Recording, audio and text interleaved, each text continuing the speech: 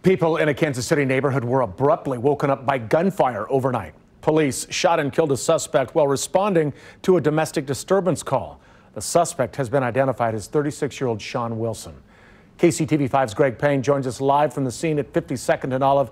Greg, how are neighbors reacting to this?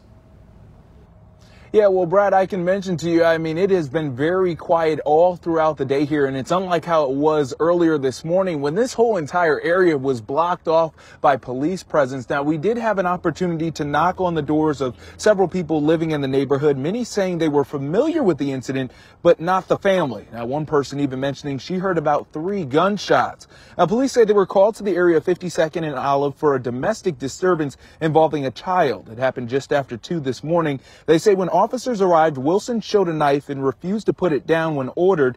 Officers say he started coming toward them, so they shot him. Wilson was taken to the hospital and later died. Police say the child involved, along with the other kids and adults in the house, are okay. Missouri State Highway Patrol says no officers were hurt, and as protocol, those involved are on administrative leave during the investigation.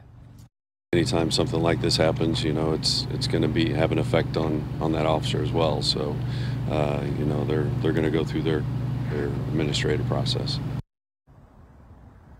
And a part of standard procedure is all officer involved shootings are then investigated by the Missouri State Highway Patrol.